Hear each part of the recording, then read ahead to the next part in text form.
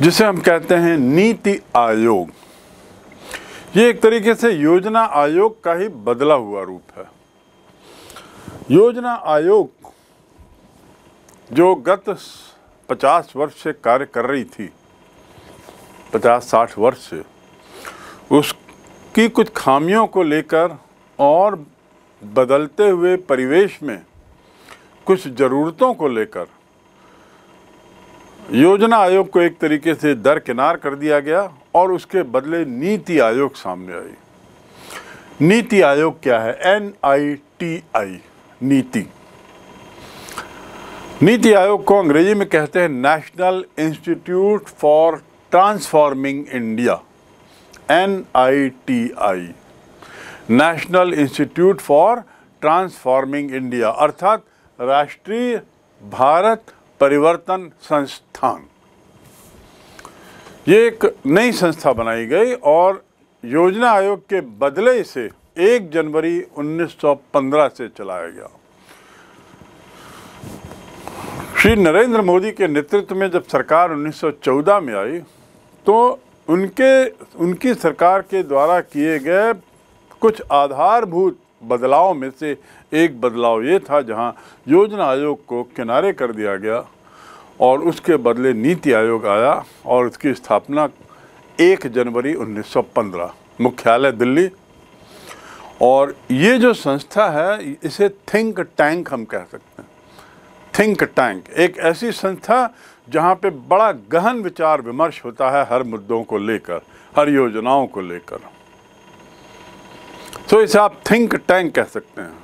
तो ये think tank के रूप में सेवाएँ देगा और नीतिगत गतिशीलता देगा। उसका उद्देश्य था थिंक टैंक के रूप में सेवाएँ देना और गतिशीलता देना। किनको? योजनाओं को, नीतियों को। तीसरा, नीति आयोग केंद्र और राज्य स्तर पर राज्य को नीति के प्रमुख कारकों के बारे में परामर्श देगा। यानी इसका काम भी परामर्श था। किस मामले में? केंद्र और राज्य स्तर पर सरकार को नीति के प्रमुख कारकों को लेकर समझाइश देना, परामर्श देना, खासकर आर्थिक मोर्चे पर, राष्ट्रीय और अंतर्राष्ट्रीय स्तर पर बेहतरीन जो पद्धतियाँ आ रही हैं, उसके बारे में बताना। चौथा, अंतर्राष्ट्रीय स्तर पर नए नए उपजे हुए विचारों का समावेश करना। नई नई बातें जो देश के लिए प्रासंगिक और महत्वपूर्ण हो सकती हैं, उनका समावेश करना और देश के भीतर, देश के बाहर संबंधित मामलों पर समर्थन अर्जित करना। तो इस प्रकार नीति आयोग क्या है? स्थापना का वर्ष, संवैधानिक संस्था और योजना आयोग के स्थान पर होने के कारण इसे हम एक संवैधानिक संस्था तो नहीं मान सकते, लेकिन हाँ सरकारी आदेश के तहत ये संस्था का जन्म हुआ है। इसके उद्देश्य क्या थे? इसमें एक चीज़ आपको समझनी होगी कि योजना आयोग और नीति आयोग में जो मूलभूत अंतर है वो ये कि केंद्र से राज्यों की तरफ़ चलने वाला जो एक पक्षीय, जो केंद्र से राज्यों की ओर जाने वाला और फिर राज्यों से फिर नीचे ज़िले स्तर पर जाने वाला जो एक पक्षी जो मार्ग था, उसमें कुछ बदलाव लाया गया। महत्वपूर्ण विकासवादी परिवर्तन के रूप में राज्यों की वास्तविक और सतत भागीदारी को अब ले लिया गया। योजना आयोग में टॉप डाउन और नीति आयोग के तहत बॉटम अप वैसे बॉटम अप उन्नीस से लागू किया गया। लेकिन एक योजनाबद्ध तरीके से इसे नीति आयोग ने लागू किया। नीति आयोग जो है वो ग्राम स्तर पर, सबसे नीचे के स्तर पर विश्वसनीय योजना तैयार करता है, विकसित करता है और उसे उत्तरोत्तर ऊपर पहुंचाता है। तो विश्वसनीयता भी उसकी योजना की बहुत है। ये बहुत बड़ा अंतर है योजना आयोग और नीति आयोग की कार्यशैली में। ये आयोग जो है वो राष्ट्रीय और अंतर्राष्ट्रीय विशेषज्ञों प्रैक्टिशनरों और हितकारकों के सहयोगात्मक सहयोग से आ, एक बनता है सहायक प्रणाली। इसके तहत आयोग कार्यक्रम और नीतियों के क्रियान्वयन के लिए भरतक कार्य करेगा। ये हो गया दोनों में मूलभूत अंतर। अब हम आते हैं संरचना पर। नीति आयोग कैसे बना? जैसे योजना आयोग के ढांचे की हमने बात की, जिसमें प्रधानमंत्री, मंत्रिमंडल आदि सदस्य, लोगों की सदस्यता के बारे में बात की। थोड़ा यहाँ नीति आयोग की संरचना को जाने। भारत के प्रधानमंत्री, इसके अध्यक्ष, गवर्निंग काउंसिल में राज्यों के मुख्यमंत्री और केंद्र शासित प्रदेशों के उपराज्यपाल और ऐसे केंद्र शासित प्रदेश जहाँ पे विधानसभा भी है, जैसे दिल्ली, वहाँ मुख्यमंत्री। विशिष्ट मुद्दों से जुड़े हुए मामलों से संबंधित, यदि एक से अधिक राज्य का क्षेत्र हो तो क्षेत्रीय परिषद का गठन। क्षेत्रीय परिषद का गठन। यदि कोई ऐसे मामले हों किसी मुद्दे पर जिसमें दो तीन चार राज्यों का समावेश है। दो तीन चार राज्य से जुड़े हुए उस मुद्दे से तो एक क्षेत्रीय परिषद की स्थापना का प्रावधान है। और ये जो परिषद बनेगी, एक निश्चित काल के लिए। जब तक उस मुद्दे का निराकरण या समापन नहीं हो जाता, तब तक वो रहेगी। भारत के प्रधानमंत्री के निर्देश पर इसकी बैठक होगी और मुख्यमंत्री, संबंधित मुख्यमंत्री इसके, इसमें शामिल होंगे।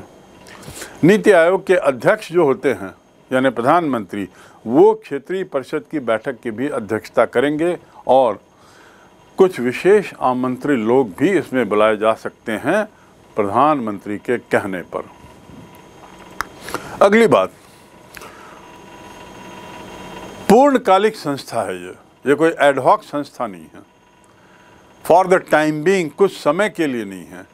तो पूर्णकालिक संस्था में प्रधानमंत्री के अलावा एक उपाध्यक्ष होगा, वो भी प्रधानमंत्री के द्वारा नियुक्त।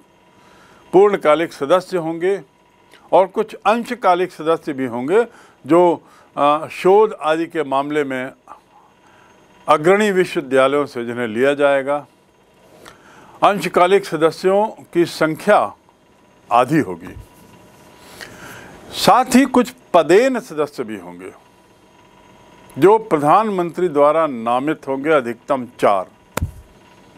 पदेन। पदेन मतलब क्या होता है? बाय वर्च्यू ऑफ़ पोस्ट पद के आधार पर। इसके साथ ही कुछ अधिकारी भी होंगे जो सचिव स्तर के और निश्चित काल के लिए इससे जुड़े हुए होंगे। उसके बाद अंतिम सचिवालय जो है, वो आवश्यकता अनुसार होगा। तो इस प्रकार इसके संरचना में प्रधानमंत्री से लेकर नीचे अधिकारी स्तर तक का ढांचा कैसा होगा और उसके बीच में एक क्षेत्रीय परिषद का भी प्रावधान है, ज़रूरत पड़ने पर जो होगा, ये उसका ढांचा है। जैसा मैंने बताया पहले कि योजना आयोग के द्वारा किए गए प्रशंसनीय कार्यों के बाद भी उस पर कई बार आरोप लगते थे उसकी भूमिका को लेकर। और दूसरा, जो विश्व बदल रहा था भूमंडलीकरण का दौर आ गया था, ग्लोबलाइजेशन का जो दौर आ गया था। और भारत में भी जो आर्थिक नीतियाँ, उदारवादी विकास मॉडल की ओर बढ़ चली थी। तो इन दो तीन कारणों के कारण योजना आयोग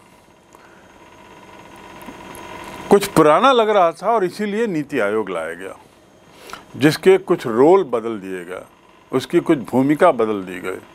तो इस प्रकार भूमंडलीकरण और उदारीकरण के वर्तमान दौर में भारत भी विकसित राष्ट्रों के साथ मिलने, मिलकर चलने का प्रयास किया।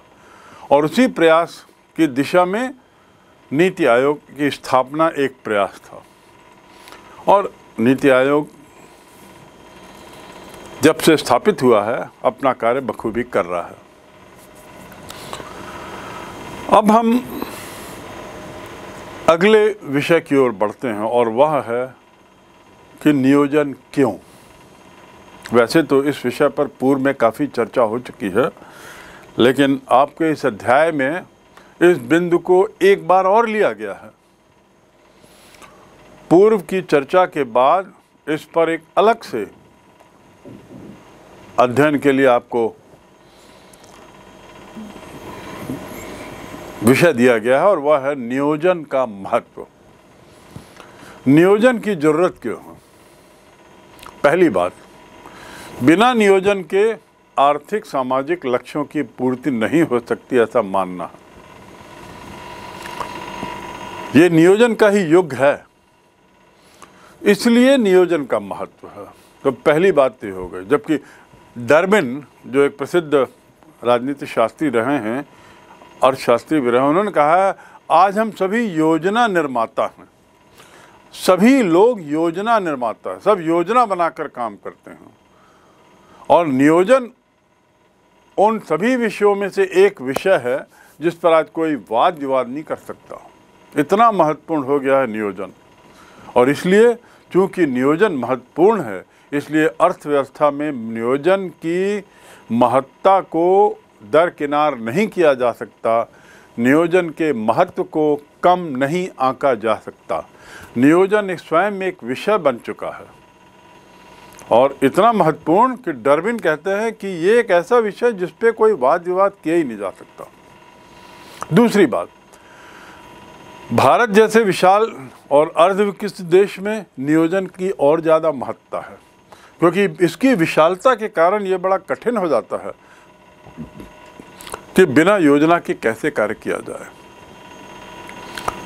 इसकी निर्धनता के कारण ये बड़ा कठिन हो जाता है तय करना कि कहाँ से कार्य शुरू किए जाएँ। नियोजन जो है, वो प्राथमिकताओं को तय करता है। नियोजन जो है, वो योजनाबद्ध तरीके से लक्ष्यों की प्राप्ति का प्रयास करता है। इसलिए भारत जैसे गरीब निर्धन देश में, अविकसित देश में नियोजन का और भी ज़्यादा महत्व है। तीसरी बात, आज अर्धविकसित देश जो हैं,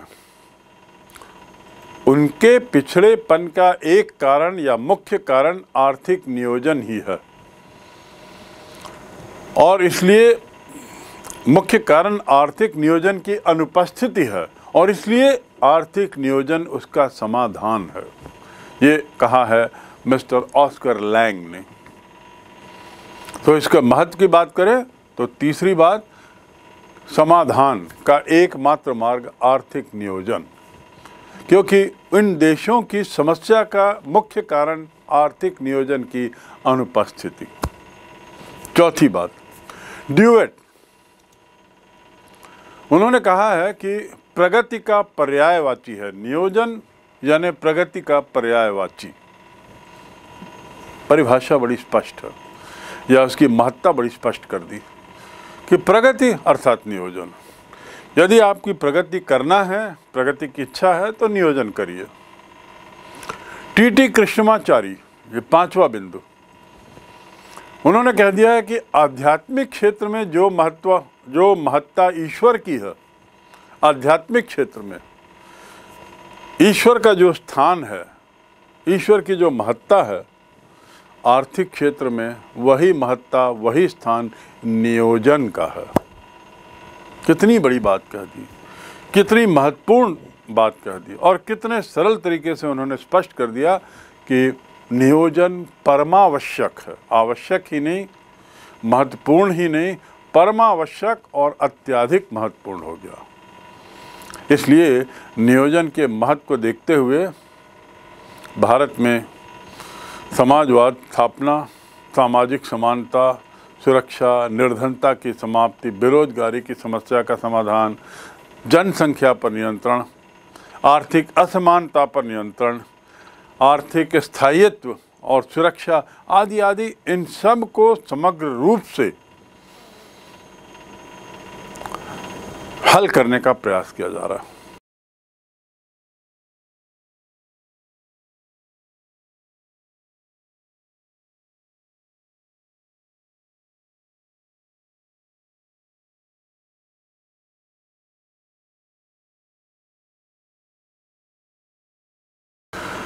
और इस सारी समस्याओं के निराकरण के लिए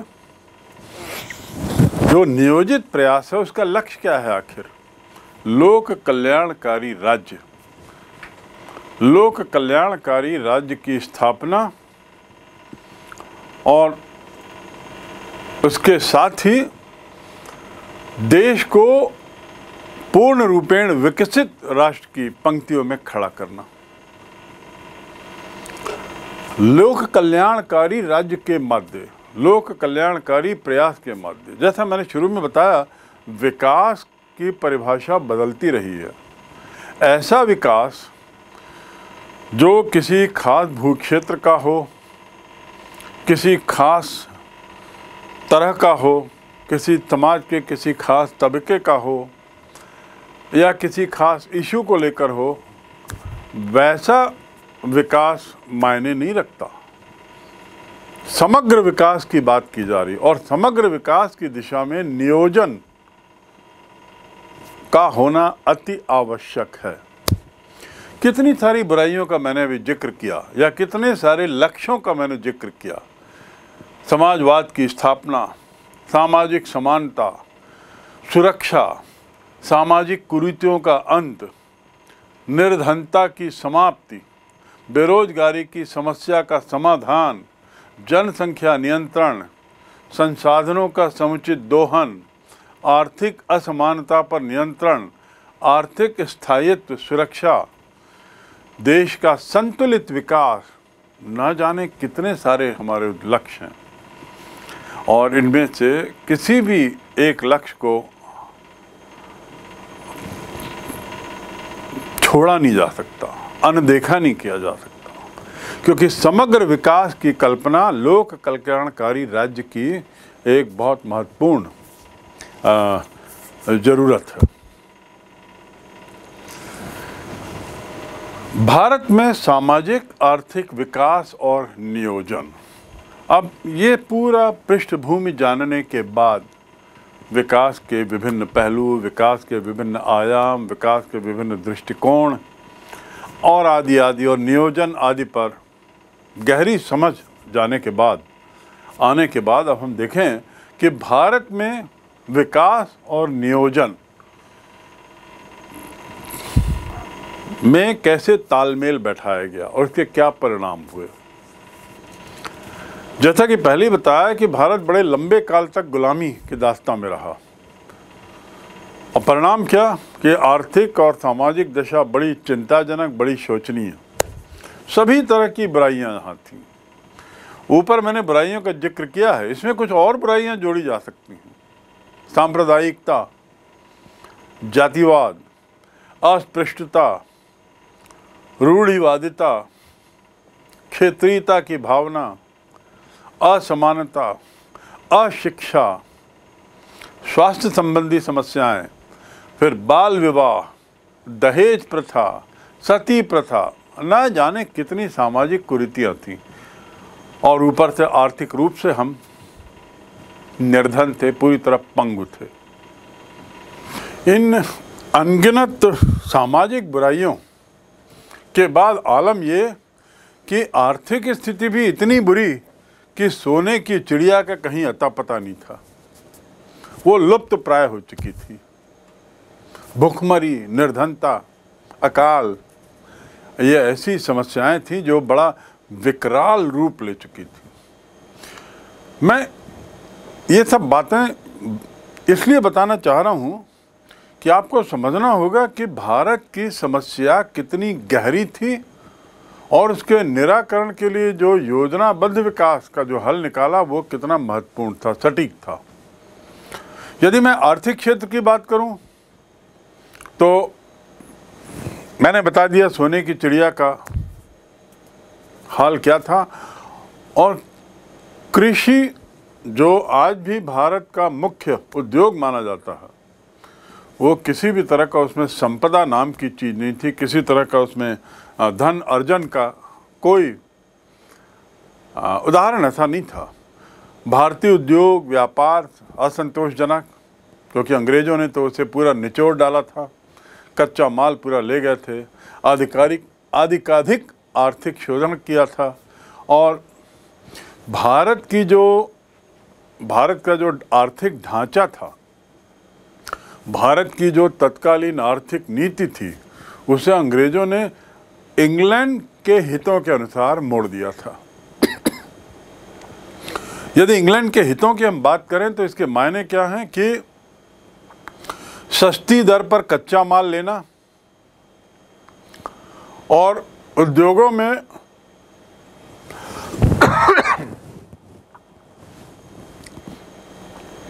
उद्योगों में निर्मित माल को ऊँचे दाम पे बेचना।